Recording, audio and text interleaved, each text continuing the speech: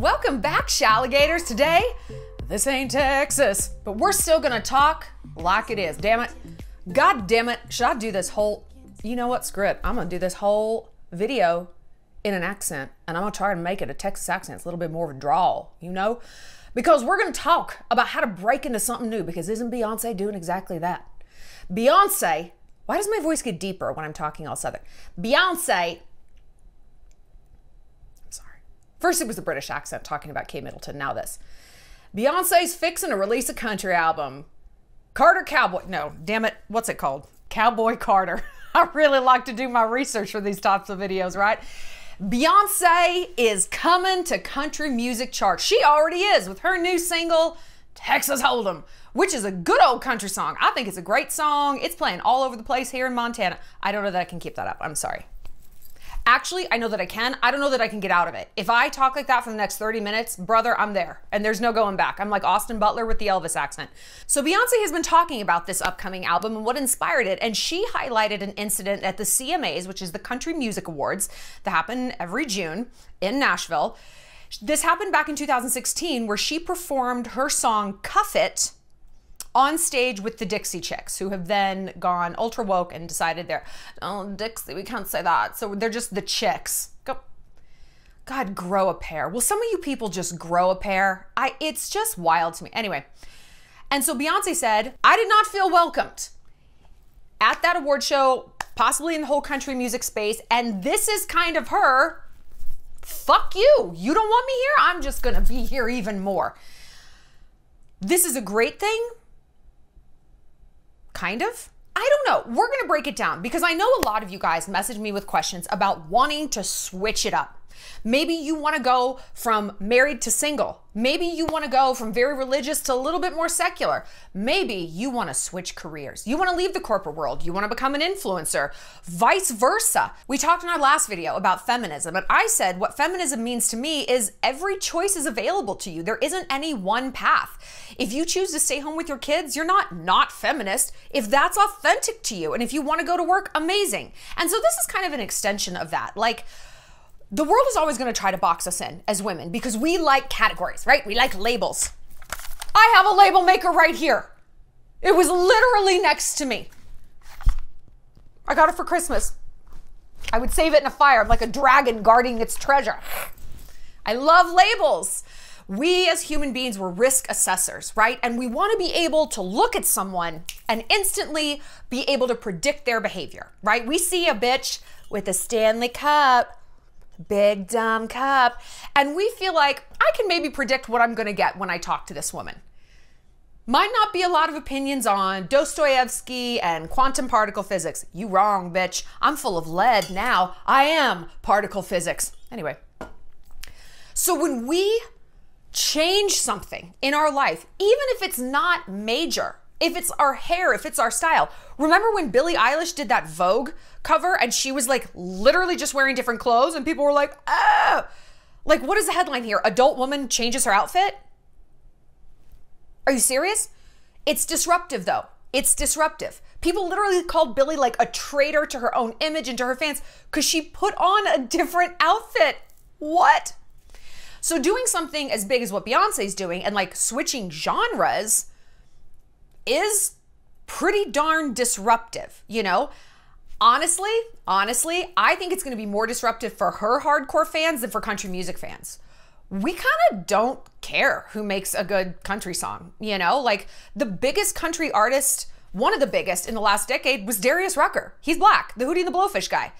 You know, like nobody cares. Breland is big. Jimmy Allen, well, he's like shit the bed. He's like a terrible toxic person, but he was pretty big too. Like, it's not nobody it's really not that big of a deal. I wonder though if it's her fans who are going to be like you you've turned on us, you're trying to like appeal to all these redneck MAGA white people. I don't know. I'm I'm very curious to see how this goes cuz let's go back to the Billie Eilish example. It was her fans who had the meltdown about her changing outfits. It's like it wasn't you know, me like a casual fan. It's like I really don't live or die by what Billie Eilish wears. I don't her style is bad. It's quite bad. Um pretty bad.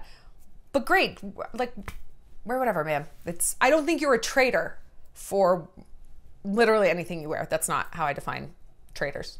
It's odd. So I'm interested to see how this is going to go for Beyonce. So we're going to break it down. How do you radically switch lanes? Because you know who else has done it? Me. I've done it many times, many times over my life. My life is has been several different acts, several different ashes and then a phoenix rising from it. So honey, I get it. I know how to move. I know how to reinvent myself. I know how to make a whole different circle of friends, and I know how to not let the haters get me down. Because when you think about changing, the voice in your head, Crystal, is going to get louder and louder. So you got to be forewarned and forearmed and know exactly how to repel that little truck stop lot lizard skank. But before we get started, if you're thinking about making a big change in your life and you feel like you're just not in the right mindset about it, I really encourage you to check out my mindset coach. She's a manifestation guru and teacher, public speaker just she's the wind beneath my wings. Laura St. John. I talk about her constantly in the Shallontourage. I parrot back a lot of her advice.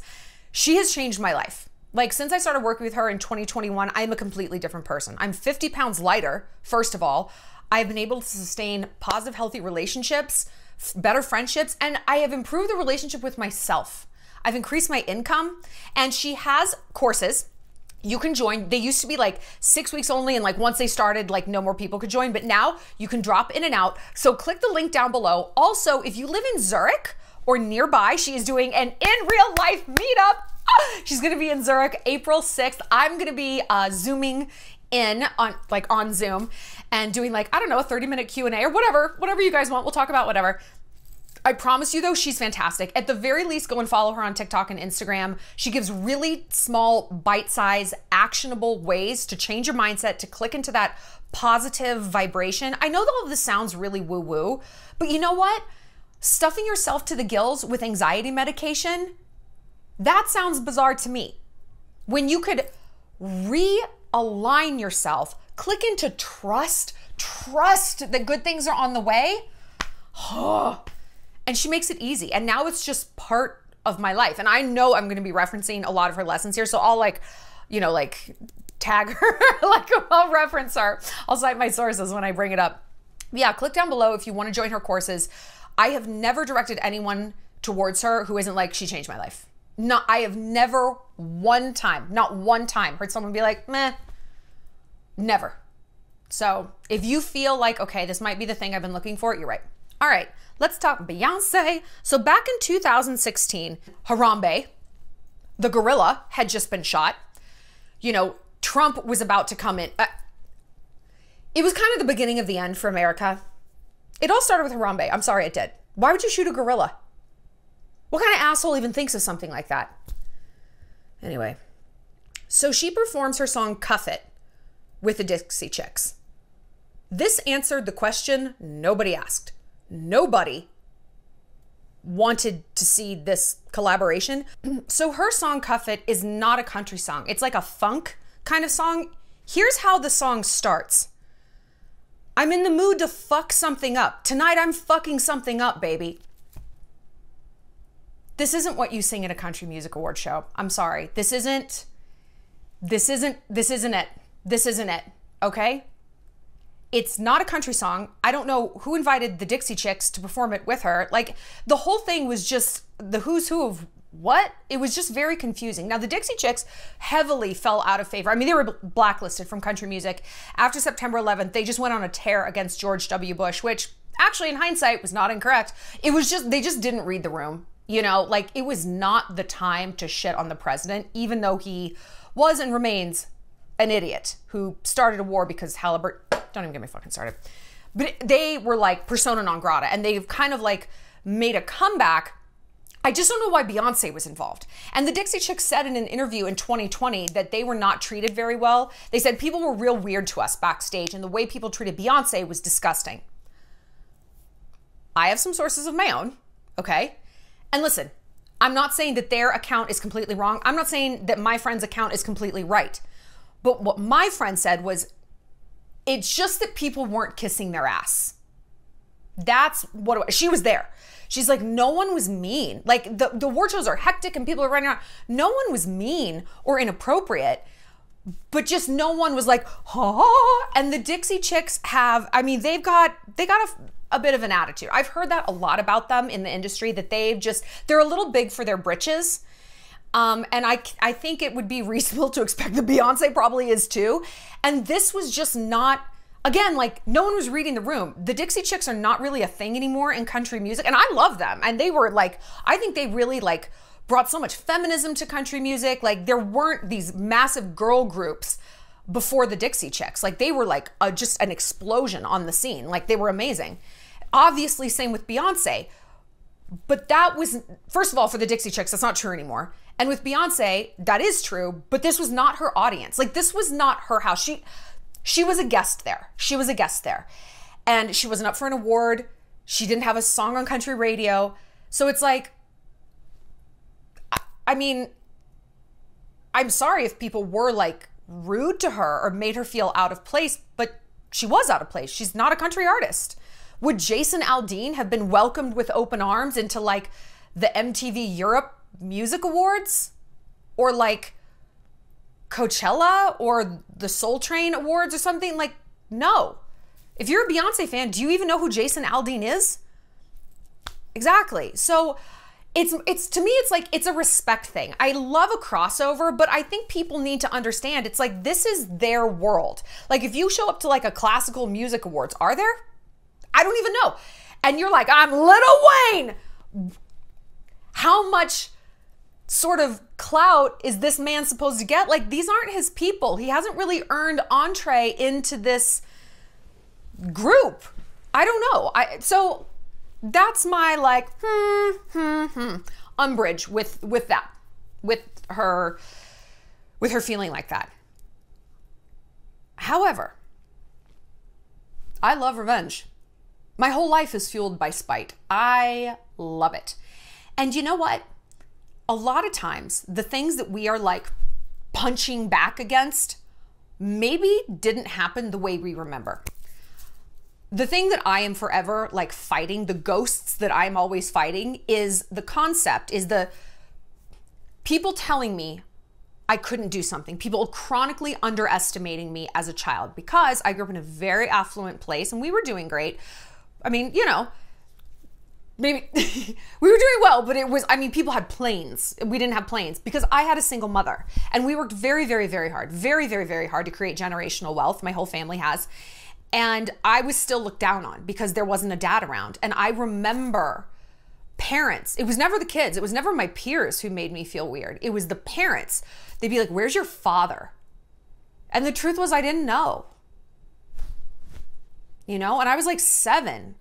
Like, I don't know. I don't even know where my, like, socks go. Like, they're, like, I can't even keep track of, like, my roller skates. I don't know where my, I don't know.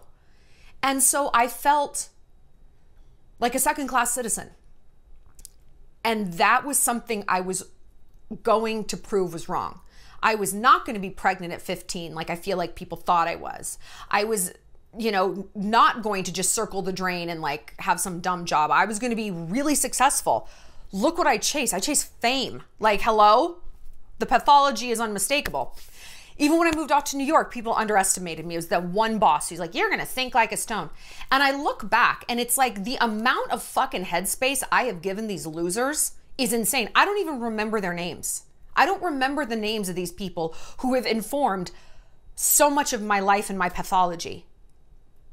It's crazy. And you know, I have this this narrative that people were underestimating me. And the other day my mom was like, "Where are you getting that from? You were literally a straight A student. You were all, you won every single election that you ever entered. You were prom queen. Like who exactly was underestimating you?" She's like, "I just don't know where you're getting that from because you were a big bright shining star." And I was like, "Damn it. No. I needed to hold on to that hate, that revenge to keep me fueled going forward. I have talked about this a lot in therapy. Every single therapist I've had is like, you can let it go. You can let it go. Okay? Because you won. No one's gonna say that you haven't been successful. No one can say that you're lazy. You can like loosen your grip a little bit. And in my mind, no, I can't because then everything's gonna fall apart. You know, everything's gonna fall apart. This pathology of revenge, revenge, revenge can be pretty self destructive. Who, who knew, except for literally everyone who talks about revenge. And this is part of the reason I did Evil Week this past year, which is the light and dark feminine energy course, because I'm great at the dark feminine. A lot of us alpha females are. But when it comes to like relaxing and just being able to be soft and sweet and vulnerable and trusting, whoo, our fear is that no, everything's going to fall apart. I can't do that. That's crazy. That's crazy. And so I kind of want to sit down with Beyonce and be like, on one hand, I get it. I get it. And like, who who cares if your villain origin story is even true to some degree. Because listen, like my mom said, she's like, I don't know where you're getting this from. And I'm like, at this point, it doesn't matter. I need that villain origin story to keep me moving forward, to keep me from getting soft. And of course, like I said, a lot of people are like, no, you don't. You're, it's getting bizarre. Same with Beyonce, maybe. Like she said, this has been in the works for five years. That's a hell of a long time to hold a grudge. That's a really long time for something that, like my source said, and again, you know, grain of salt, I don't know didn't happen that way. Or if it did, that was not the intention. You know, no one was like, there's a black person here. You know, I don't, she's like, that's not the case. That's just not the case. Uh, clearly it wasn't racist because the Dixie Chicks were treated kind of the same way. So I, I don't know. I don't know. Who knows? Who knows what actually happened? But high five to Beyonce for holding the grudge good for her because perception is reality. If she felt that she was really wronged back then, the fact that she has taken that and turned it into turned that that hate into jet fuel, I love it. I love it. This is an inspiration. This is an inspiration. I say this because if you're thinking about switching lanes, I want you to cultivate a bit of a grudge. Not don't take it to the Beyonce and Shallon level, you know, but a little bit of that. I want you to look at the people who are like, I wouldn't do that if I were you. I know you wouldn't. You can't do what I do. Who asked you? I say this to people all the time. You can't do what I do. I wouldn't do that if I were you. I know that. I know that. That's why you're you and I get to be me. Thanks. I want you to have that attitude against the naysayers. Now hold on. There's a difference between hate and feedback. There's a difference between hate and feedback. I was talking to my mom about this the other day. I don't even know what how it was coming up. Oh, I, we were talking. I don't know. But you know the phrase like hustlers move in silence. My mom was kind of saying that. She's like every big decision I've ever made in my life, I didn't ask anyone. Going to nursing school, buying an apartment building. This woman bought an apartment building, building in San Francisco when she was 23. One time I snorted Adderall in the bathroom of my job when I was 23. Anyway, having a baby on her own. She's like, I didn't I didn't want a lot of opinions because everyone is looking at things through their own lens. You know, they're not going to be there to pick up the pieces or to build me up. You know, the consequences rest on my shoulders alone. So why should anyone else get a vote? And I'm like, that's true, but I do believe in the wisdom of the crowd. If you are getting the same consistent feedback from people, maybe it's worth examining. And, you know, I think we were talking about this in the Shallontourage. We've talked about this because I saw this quote by Andrew Tate. I know, with don't get me started. I know, okay? I don't like Andrew Tate. I don't think everything he says, though, is completely idiotic, like anyone on planet Earth. Like anyone on planet Earth.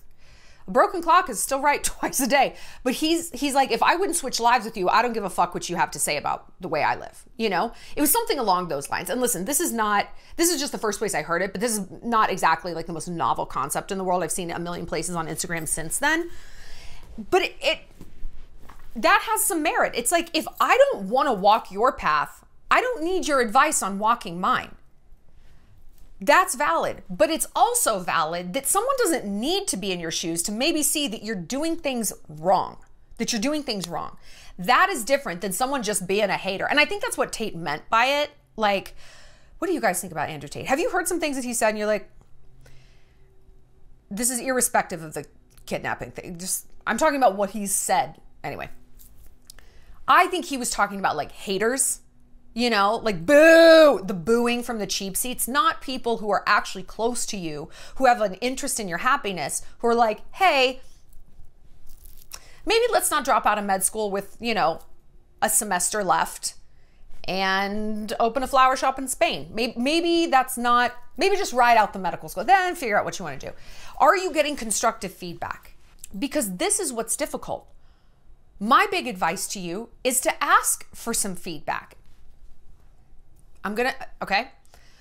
This is our work as human beings to find the intersection between feedback from the outside world and our own intuition. And this is why I always say, like, we have to be good with being alone. We have to be good with being bored, ugh, heartbroken, ugh, sad. Like, we have to allow ourselves to work through emotions. Why? It's not just an exercise in masochism, it's so that we can learn to make our brain quiet enough that our intuition will be heard. I have learned that I am, that my spleen talks to me. I'm like a splenic kind of person. Basically, that means my intuition will whisper immediately once, once. She's not going to beat me over the head with it. So I, and I learned this via, do you guys know what human design is? It's kind of like, I wouldn't say it's astrology, but if you like astrology, you'll like this. It's almost like, it's kind of like brain chemistry and brain wiring plus astrology. So you take your birth date and time and all of that, and it tells you kind of how you're wired. So I'm a projector. And so I'm, I'm a, like a splenic projector. I'm a non-specific manifester, which has been hugely, hugely helpful for me because I I used to like try to manifest by coming up with like a billion details of the scene. That's actually not how I manifest. I do it by focusing on the feelings I want to feel and keeping the details vague to allow for things to unfold in ways that maybe I didn't even predict.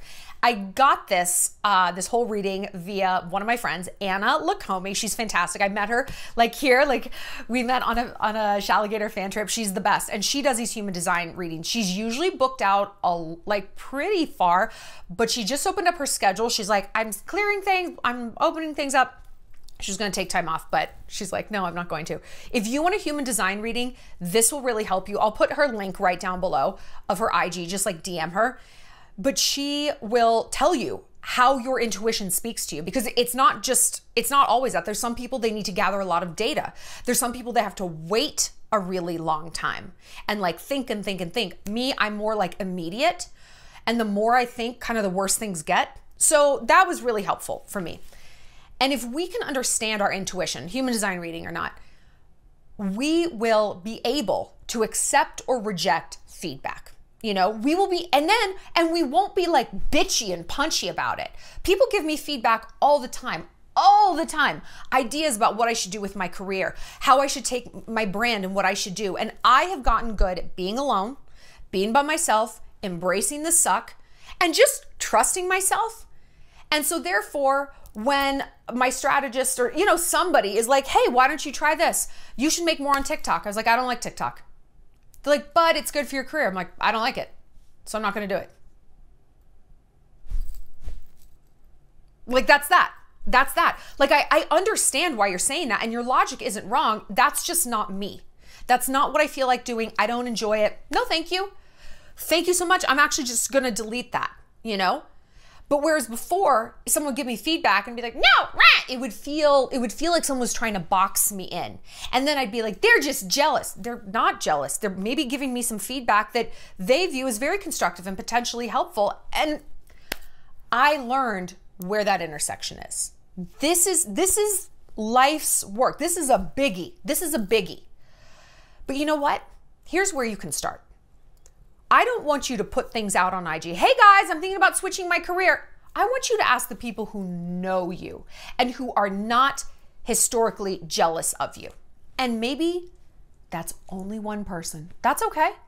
Maybe it's two people. Great, that's fine. Maybe it's someone who doesn't know you ultra well. That might have its benefits as well, like a coworker. And you're like, hey, I'm kind of thinking about getting out of graphic design and like going into publishing. What do you think? They might have some feedback that you've never considered.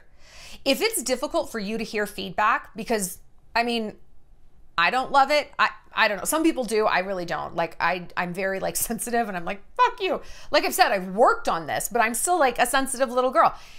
I will prefer to take feedback in text form, like email or text. because I can digest it in bite sized pieces. I can look at it more neutrally. I don't have to respond right away. You know, I'm not like emotional in the moment. I haven't had a few cocktails in me or whatever. You know, if you ask someone face to face across the table, plus people are more likely to be honest over like a little bit of a separated medium versus like looking at you in the whites of your eyes and being like, you would make a terrible Twitch streamer. Just in case you were curious, do not do this. So I think that that is maybe a way to kind of like ease in, like tiptoe into feedback if you're considering a really big change.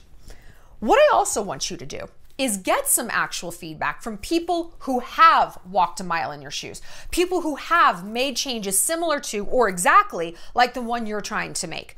I cannot tell you, I cannot tell you how many people message me and I'm answering one on one questions on passes.com. You can click the link below. And they want to become an influencer. And whether it's you guys, like people who watch this channel, or people who I know in real life, their questions always boil down to the same question, which is what's the secret?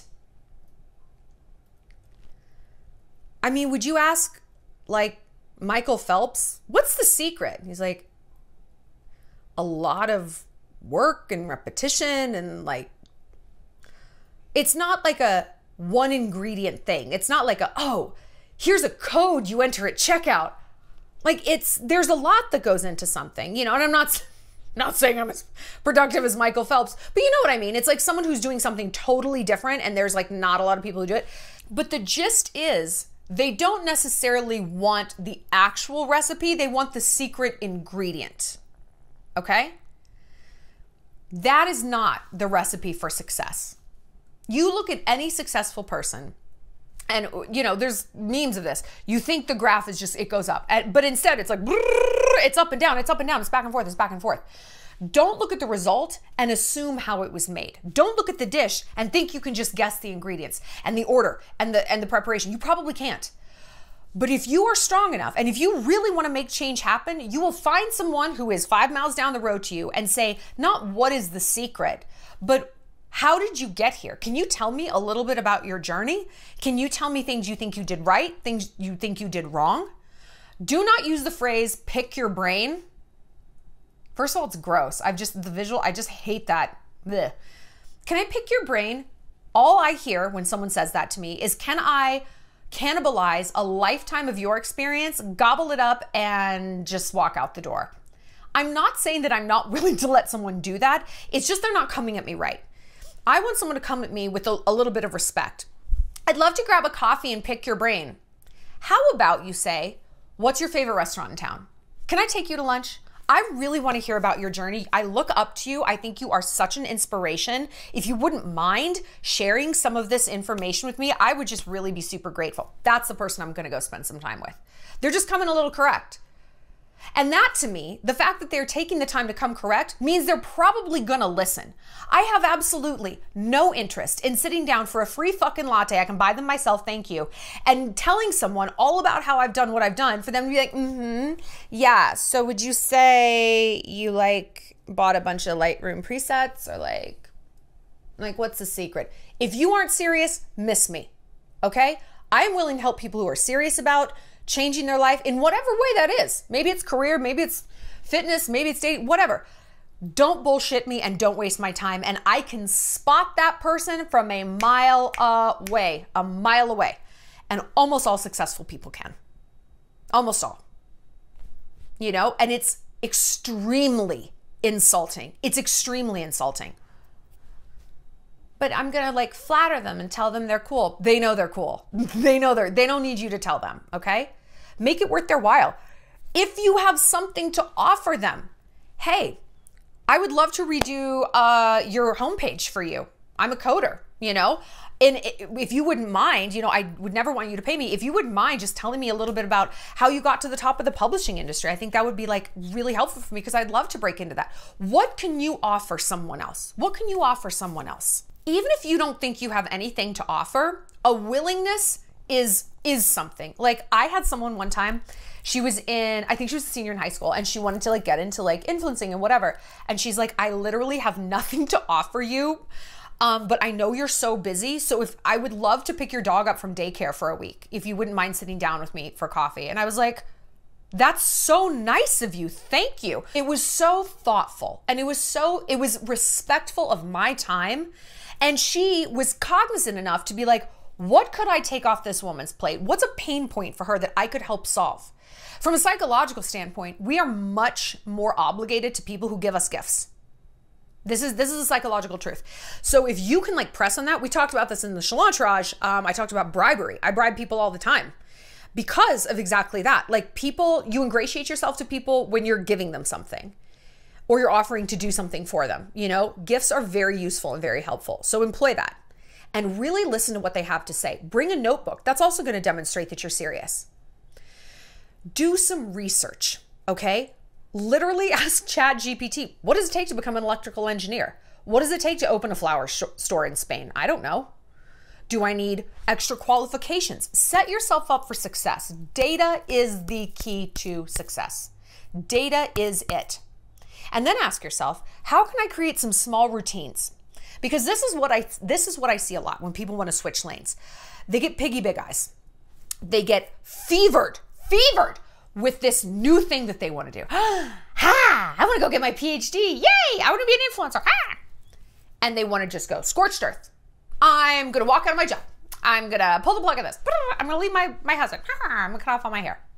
Don't cut off hair.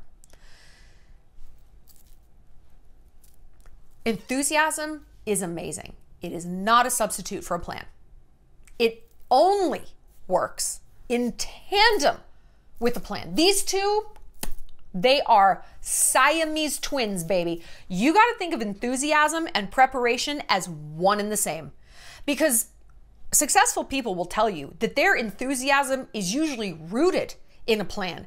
They don't feel very good at all. They don't feel enthusiastic at all if they don't have a plan. They feel scattered, anxious, directionless, like they're wasting time. And all of those are correct responses to not having a plan. They should feel like that. It's true.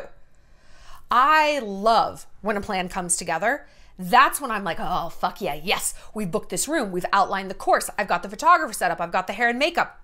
Boom, we're doing it. We're doing it. So now, because I have a plan, I can put other things on the back burner because I'm like, no, I have to focus on this because I spent a lot of time setting it up.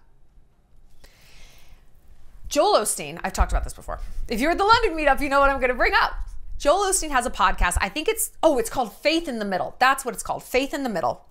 Listen to it. Whether you're religious or not, it doesn't matter but it's about how to stay faithful and determined and resolute when you're in the middle of pursuing a goal. And he brings up a good point. Everyone's psyched. He didn't use that term. Everyone's psyched when they set a goal. It's exciting. You know, I'm going to run a marathon. And of course you're thrilled when you when you do it, when you cross that finish line. It's the middle.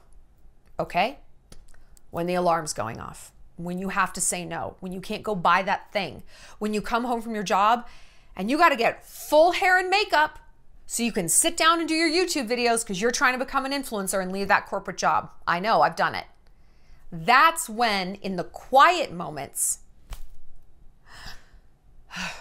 so this is another tip prepare yourself for the middle. Understand that this is coming, but also keep sight of why you are chasing this thing. Keep sight of why you want to do this. If it's just like, I am fucking tired, but if this thing arrived to me tomorrow, I would still be really excited. And for some people, that's not the case. It's like, you know what? I've gone through a year of law school. I don't want to be a lawyer. I don't like this. Okay, that's very valid. And at that point, yeah, maybe you shouldn't stick it out. But if you're like, no, I really, oh, I'm just picturing myself crossing that finish line, then you just have to do the fucking work. You just have to do the work. And this is why I kind of caution against telling a bunch of people what your plans are. And this is why I do back up what my mom says and the whole phrase of hustlers move in silence because you don't want to front load those congratulations. Psychologically, people who do that and get applause on the front end when they announce that they want to write a book, they haven't written it. They don't have a book deal. They're just, I'm going to write a book. I'm going to go back to school. The attention that they get from this actually de incentivizes them to move forward and get it done because they've like eaten dessert first. You know what I mean? The next big thing I'm going to tell you is grit and patience. Grit and patience. Like I said, we all get piggy big eyes. And it's like, fuck it, I'm just going to quit my job. Let me tell you, whatever it is you're excited about, whatever it is you're going to leave your job to do, you will hate within three weeks. You will hate it. You will be so incredibly resentful. You will be scared to goddamn death because you don't have any money coming in. And this thing that you really love to do is now the thing that has to work, but not in a good way, in a way that's desperate. So maybe networking that you want to do, whereas before when you had a job, you had a paycheck coming in. Now that net- networking has a very desperate edge. And desperation is the strongest smell in the world. You don't want to do this. You want to wait. You want to have a plan. You want to be strategic work, work, work, work, work on this side hustle until the tipping point occurs. And if you work and if you are strategic and if you are faithful in the middle, it will occur. That that tipping point 100% will occur. Then you can leave that job and you can ride out of there with your head high and be like, fuck yes. I did this the right way. I am so proud of myself. The way you did it will be just as like bolstering, just as much of a feather in your cap as the thing that you've done. It 100% will because you're going to march into this new phase, this new lane, knowing that you have what it takes to create routines, grit, determination, resolve, follow through, so that even if people are like, wait, you're really leaving your job to be a YouTuber? You can be like, yeah, because I've actually been a YouTuber this whole time. I come home from my job and I clock in to YouTube and I work my ass off until 10 p.m. And so I know the systems are in place. And I know that you think you're only looking at the end result. You're looking at the finish line. You're not looking when the alarm goes off and I'm hitting the track. And that's okay. People don't need to be there with you during the sticky middle. Again, think of the dish and the ingredients. The metaphors are all over today. I'm sorry. They they don't need to see how it's made. They don't it doesn't matter. It doesn't matter because they're not going to be there making it with you. You know how it's made and you can look yourself in the eye and you can look them in the eye and you can say, "I've actually got this. I know what I'm doing." I have systems in place. I've proven to myself that I can learn these things. I can be resilient. I had a plan that when I made X amount of money, that was the tipping point. I could leave behind this job and I could move forward. Is it a leap? Yes. Anything worth doing is. But what if you skew to the opposite direction? What if you aren't someone who leaps before they look? You just look and look and you keep looking and there's looking more and you just ruminate and you actually never make a switch. You never just pull the trigger. Ask yourself why. Are you not pulling the trigger because there is a strategy in place, or there's not, and you're not even at the point where you've made a strategy? Are you not pulling the trigger because you don't have the data about what it would look like to go back to school? Fucking go get it. Go get it. Google it. Ask ChatGPT for God's sakes. Go find that mentor. Because you know what? Maybe you're right. Maybe it isn't for you. Maybe people are like, I don't think you're going to want to go back to school for this. Maybe they're 100% correct. And it's okay if people end up being right. Truly, I mean, it is such a life skill. It is such a like ultra elite level of behaving to be able to say to someone, You told me so, you were right. My mom is incredible at it. Like it, she has zero ego. She's she's the first one to admit when she's wrong. I don't know how she raised me. Oof. Did not turn out that way. Poor poor woman. But it really is inspirational because she will course correct midstream. She's like, "Oh, I was so wrong. You guys are right. Let's course correct." And that's really an admirable thing and that's probably why she was able to buy an apartment building in 23. Could have something to do with that. anyway, find out, really ask yourself, why am I not pulling the trigger? Is it your intuition that's like, this is wrong for us? Is it not that? Is it the opposite? Your intuition, we love her. Who do we not love? Crystal, Crystal, who's just the fear brain, who's gonna hiss all of these things in your ear. You're gonna fall flat on your face. Everyone's gonna make fun of you. Everyone's gonna be screaming, We told you so. Okay, okay. All right, let's break some of those things down you're to fall on your face. What is the fallout for that? I mean, is it like really bad? You're like, no, I'll, I could end up homeless. Okay, that's valid. Don't do that. Don't make a move if that could be a potential outcome, you know, depending. I mean, it's it's a potential outcome for all of us by the grace of God. But what are the steps you can take to insulate yourself from that? Is it more schooling? Is it doing that transition, like waiting till the tipping point occurs from your job, like you you can put some barriers in place to keep you from falling quite that far. Pay off your debt, get a little savings going. If that means you pick up extra shifts, so be it.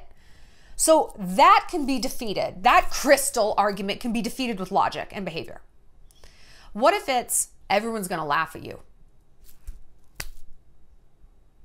Okay? Who's everyone? Well, everyone. No, literally who? Who is it? Do you even know who they are? Because remember at the beginning of this video, I was like, oh, I'm getting back against these people. Which people? Can you name them? Do you interact with them? Do they even know if you're dead or alive? I mean, not. Who are the people? And you're like, my mom, my mom and my sister would laugh at me. Okay, with respect, fuck them. Fuck what they say. What are they trying to do? No one who is also daring greatly would ever laugh at someone else who is. No one.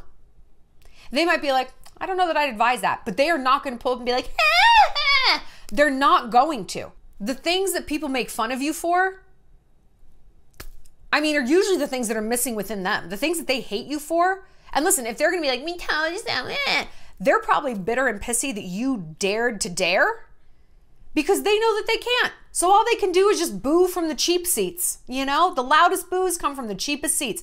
The people who are doing something with their life who are in the front row, they would never. Because they're in the trenches too. They get it. They get how hard it is to take a risk, to branch out, to move, to make new friends, to ch- change your job. They're not going to be throwing any stones. That's who you have to focus on.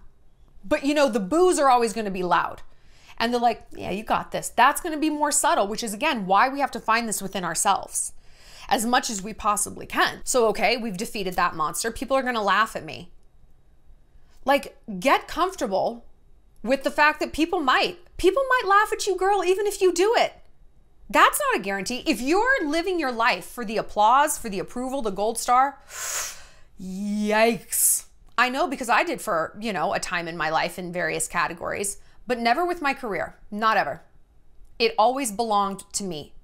And people laughed when I failed, people laughed when I made it. Oh, you think you're somebody. No, no, I don't think it. I know it. I know it. And you know what? The fact that you're so pressed about my success means you know it too. If I was an actual nobody, this wouldn't bother you a bit. You wouldn't even notice but I'm so triggering to you for a reason. I'm powerful. And that's how you have to see it. You're not going to get 100% of the people to be happy for you and to pat you on the back 100% of the time. With respect, why do you need that? Why do you need that? Ask yourself that. This is something, this is your homework. Sit with that and be like, why why do I need this? And who do I really really really really really need it from? I'm not telling you to like try to slay the dragon of needing your parents' approval. I need my mom's approval. You know the Tide Pods example. She's like, don't use those. I was like, okay, yes, ma'am. I'm not, I'm not going to. But then for some reason, when it comes to my career, I was like, I know what I'm doing. But she's always been very supportive. So chicken and the egg. I'm not telling you that you should try to become this island and you don't need anyone and you're the Unabomber living in a hermit cabin or something but try to give yourself the accolades you need. Or if, if that is a bridge too far, I get it. I really do get it. At least decentralize how important these other opinions are. You know? Because you got to live with yourself 24 7, girl. You better like where you're at. You better really approve of yourself. Because you know, when you approve, the storms and the challenges, they really are easier to weather. Because it's like, you know what? Hey, this didn't work out it didn't sell, I got an F, whatever. At least I tried. Do you know that the number one thing people regret on their deathbed is that they didn't go for their dreams? How sad is that? And we picture our deathbed when we're 90. Maybe it isn't. Maybe it isn't, man. God hope I hope it is. But maybe it's not. What if it was 5 years from now? What if you're in the hospital right now? And you're like, I really wish I would have taken some more chances. And you're going to get out of the hospital. This is just a temporary thing. But has that not crossed your mind? Don't ever give your life the opportunity to tell you that again. Don't ever let, never, never. You hear that one time in your life from your brain, I wish I would have gone for something. Never let that happen again. Ever. Learn from it, harness that.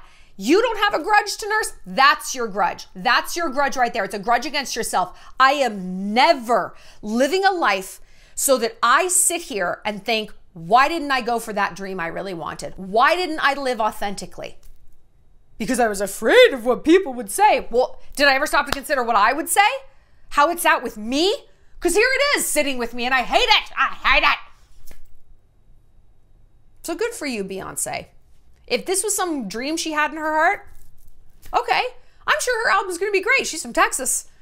She's from Texas. She's got that drawl. She's got a nice voice. I, I can't wait to listen to it. You know, I haven't liked her last few albums. I hated Lemonade. God, I hated that album. It's just, I, I just didn't, it wasn't my cup of tea, you know?